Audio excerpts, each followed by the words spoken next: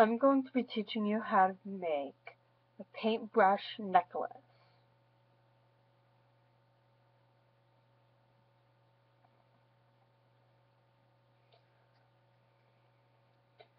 First off, you'll need a paintbrush and some string, super glue, and scissors.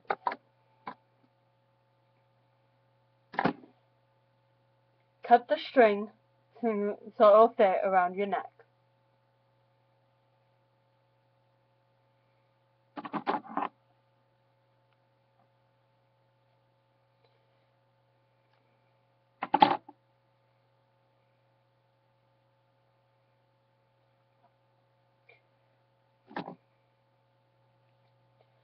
Take the paintbrush and center it in the middle of the string.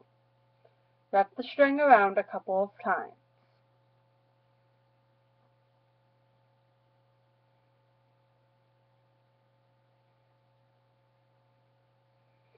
And take the super glue and glue the string on. If I can get the cap off.